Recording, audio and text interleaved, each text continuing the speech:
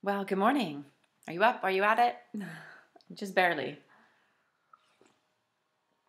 It's Monday, and we've got a challenge for you this week. I hope last week was fun. I hope you got some cards out there, some notes, some texts to your friends for that encouragement. And this week, it is all about laughter. You know, laughter is the best medicine, isn't it? That's what they say. There's benefits, loads of benefits. It uh, lowers your blood pressure. It reduces stress hormone levels. It works out your abs. It burns calories. It improves your cardiac health. Loads of benefits to laughter. So, this week, this challenge is to just make it your goal to laugh.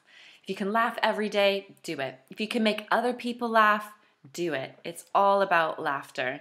So, get your smiles out, get your jokes out, get your um, ideas flowing for how you're going to laugh more this week and how you're going to make others laugh. We've put together some ideas for you, so have a watch. Blare the music and dance in the kitchen. With yourself, with a family member.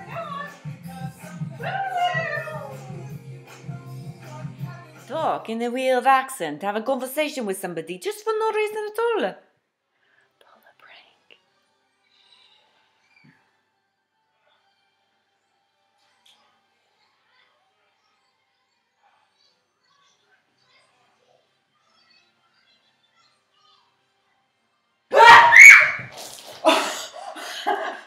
Maybe not that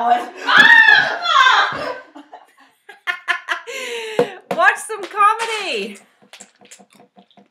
Keep it clean. Is that me? Get out the photo album and have a reminisce.